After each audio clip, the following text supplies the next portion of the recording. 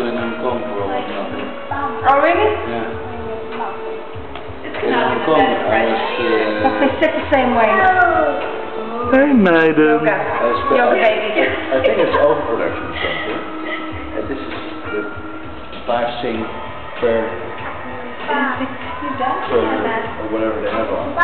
She's more like you. You think so? Yeah, you go back to that? Yeah.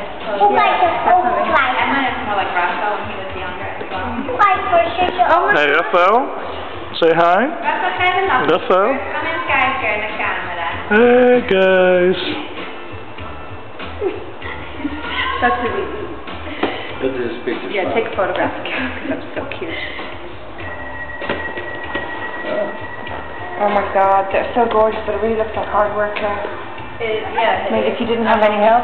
Yeah, I, uh... But the only thing is, is because it's, they're the same age, is you, you know, you turn your back... But it's like great if they can all- someone something and the other one is gone. But it's great they can all play together. You don't even have to go to baby groups or anything. I thought you had true.